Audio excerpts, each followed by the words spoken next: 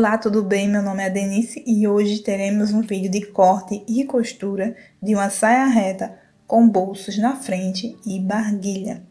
Para isso eu comprei um metro de tecido de sarja e vou iniciar cortando a parte da frente. Então eu vou usar aí uma saia reta que já tem aqui no canal, como eu não quero que fique do comprimento dessa saia reta, eu dobrei um pouquinho ali na barra. Então eu estou deixando um distanciamento de 2 centímetros nas laterais e de um centímetro bem na ponta da frente. Esse é a franjinha aí que tem no tecido à frente é o tecido da auréola, que será removido antes de iniciar a costura. Agora estou fazendo a marcação da parte da cintura na frente e ficará assim um pouco arredondada. Vamos para a parte das costas. Vou também fazer uma costura inglesa na parte das costas mas antes de marcar no tecido, eu dobrei o tecido referente ali às minhas pences parte costas. Então, é só marcar agora no tecido. Também vou colocar uma costura em inglesa na parte das costas. Então, será mais ou menos igual à parte da frente. Cortei a parte da frente e a parte das costas eu vou cortar agora o cós. O meu cós será um cós reto e ele terá a altura de 10 centímetros. E o comprimento será de acordo com sua cintura. Você vai tirar a medida da sua cintura e vai acrescentar mais 10 centímetros. Se sobrar tecido, vai ser removido depois, na hora que for costurar. Vocês vão ver isso agora no vídeo. Como eu vou colocar bolso na parte da frente, e o bolso não será em todo com o tecido, será terá um tecido de forro. Eu vou cortar essa abinha aí. Quem me acompanha no canal já assistiu recentemente como colocar um bolso tipo de saia jeans. É o mesmo estilo. Então, eu vou deixar um link passando aí no card para vocês verem como colocar. A minha barguilha, ela precisará desse tecido então, o tamanho aí será de acordo com o seu zíper e a largura de 5 centímetros. Eu vou colocar um zíper de 18 centímetros. Então, você vai cortar uma abinha aí com tecido duplo e vai repetir o mesmo tamanho, só que dessa vez com um único tecido. Porque um desses tecidos ficará para o lado direito e o outro para o lado esquerdo.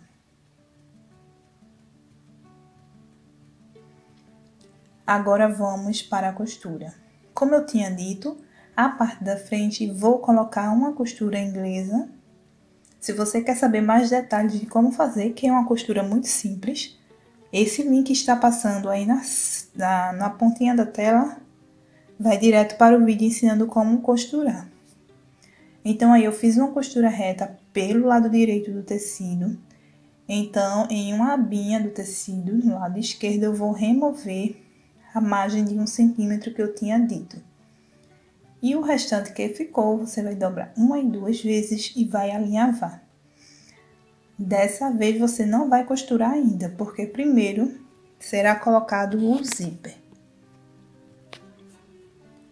Para colocar o zíper, Lembra do, do corte que eu cortei? Dois tecidos do tamanho zíper, um com tecido duplo e o outro com um tecido só. No seu lado direito, você reposicionar direito da saia com esse direito do tecido e fazer uma costura reta para poder revirar para o lado avesso. Fiz a costura, agora é só revirar e fazer uma costura reta no lado direito para prender esse tecidozinho na saia. Fiz a costura, agora é hora de colocar o zíper. Com o zíper para cima, com a dentinho do zíper para cima, aí você vai girar ele ficará assim, tipo de cabeça para baixo. A base que você vai deixar o dentinho do zíper é aquela costura que você acabou de fazer.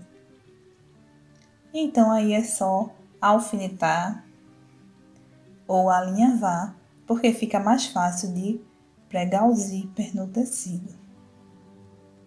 Depois de alinhavado, só fazer uma costura reta para prender o zíper naquele tecido da barguilha. Fiz a minha costura. Ficará assim, sempre presinho só no tecido. Não prenda, não costura no tecido da saia. Agora vou costurar o outro lado. Para isso eu vou fazer tipo um, vamos dizer um sanduíche, ou seja, terá três camadas do tecido da saia, o zíper e o tecido da barguilha. Esse tecido da barguilha ficará por baixo. O zíper, a outra bandinha do zíper, ficará por cima, então ele ficará bem rente ali a pontinha desse tecido. E o tecido da saia. Mas antes você tem que dobrar de meio centímetro aí o tecido da saia e posicionar acima do zíper. Depois é só alinhavar. Depois de alinhavada, é só fazer uma costura reta, prendendo as três partes. Fiz a costura, já está assim. Então, ficará aquele buraquinho, a parte da, abaixo do zíper. Então, para isso, você vai ter que fazer uma costura de retrocesso ali abaixo e eu estou marcando aí a minha barguilha. Como a linha tem da cor do tecido, talvez não apareça muito. Antes de fazer a costura, você tem que tirar aquele tecidozinho da barguilha de baixo, porque se você costurar por cima, a saia não vai abrir, o zíper não vai abrir.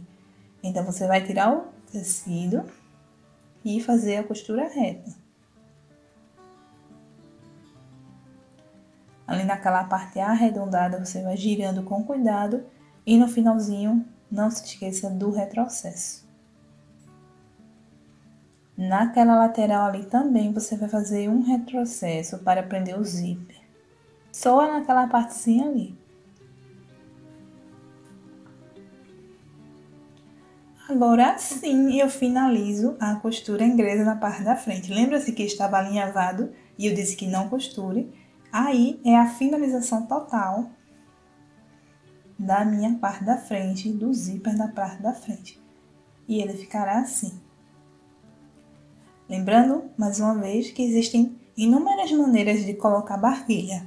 Então, essa é a forma que eu aprendi e estou passando para vocês. Se você tiver uma ideia bem mais fácil, deixa aqui nos comentários que é sempre bom aprender.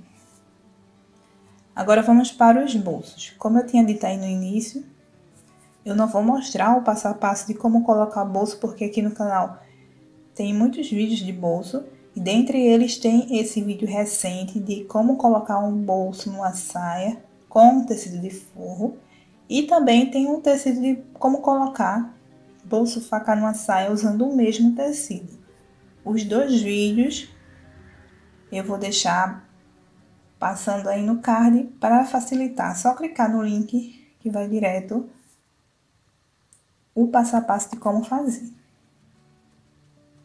Então, quando você colocar os bolsos na parte da frente, será o momento agora de costurar a parte das costas. Mais uma vez, eu vou fazer a costura inglesa na parte das costas, lembrando que essa parte aí o tecido está para a frente, direito está para a frente, e depois é só costurar as pences. Costura as pence e a costura inglesa. Agora vamos unir direito com direito o tecido e fazer uma costura reta nas laterais. Para me basear qual será a largura da minha saia, você vai usar a saia que você usou como molde e posicionar ali o centro da saia, se baseando sempre para ficar igual e marcar as laterais e alfinetar. Costure com uma costura reta e depois dessa costura é o momento de provar. Você vai ver se está na sua largura, se está muito apertado, se está muito justo. Você vai decidir. Quando eu fiz essa costura, eu lembrei que eu não deixei a abertura da fenda, porque ia ser muito difícil andar. Então, aí eu abri ali aquela parte abaixo, vou fazer o acabamento. E nas laterais, o tecido que ficou a mais, é só remover. Para igualar e as laterais fiquem com uma sobra de tecido por igual. Aí, a partir daí, é só fazer o acabamento nas laterais e agora é só colocar o cós. No cós eu vou colocar o tecido direito junto com o avesso da saia. Então aí é só alfinetando.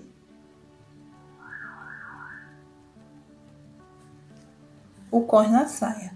Como tem um vídeo do bolso, como colocar o bolso em uma saia reta, também tem vídeo de como colocar cós um vídeo específico de como colocar. Até porque é muito simples colocar um reto numa saia, não tem muita dificuldade. Como eu tinha dito aí, o que sobrou aí é só cortar. E aí, alfinetado, é só fazer uma costura reta ao redor. E depois dessa costura, você vai fazer um pequenos piques para facilitar na hora que for revirar para o lado direito. Quando você virar, Vai ficar assim. Então é só alinhavar e passar no ferro. Deixa eu tirar um alinhavo aí para mostrar a vocês. Aquela abinha que ficou ali você vai dobrar para dentro. Então vai dobrar uma e duas vezes. E alinhavar. Na barra da saia eu também alinhavei. E aí é só costurar fazer a costura reta, tanto no cós como na barra da saia. Eu vou colocar um botão de pressão nessa saia, então você vai marcar ali onde será a casinha de botão. Então, assim, no canal já tem um vídeo de como fazer casinha de botão se você não tem aquele calcador específico, se sua máquina não tem caseador automático. Então, eu já mostro aqui como fazer esse tipo de casinha de botão usando um calcador comum. Depois que você fizer a casinha, eu tinha esquecido de cortar esse tecido aí para o passador da saia.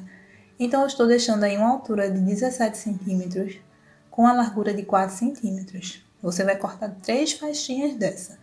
Então, você vai dobrar uma e duas vezes e dobrar ao meio e fazer uma costura reta para prender os dois tecidos. Depois é só girar o tecido e continuar do outro lado da pontinha do tecido a costura de pesponto.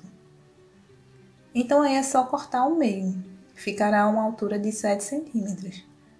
Meu passador não terá 7 centímetros, porque eu vou ter que dobrar a pontinha de cima e a pontinha de baixo e fazer um pontinho ali para prender o meu passador. Então será dois para a frente e três para a parte das costas. E pronto, finalizado o vídeo de corte e costura com o ensinamento da barguilha aqui. Muito bom, eu amei o resultado dessa saia. Farei outra saia igual futuramente, talvez no tecido jeans. Espero que vocês tenham gostado. Se você gostou, deixa aqui nos comentários Obrigado por ter assistido, fiquem com Deus e até o próximo vídeo.